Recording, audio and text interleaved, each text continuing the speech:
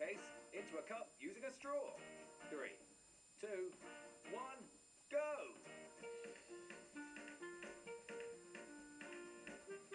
Did you guess a win today? Come back after the break to find out.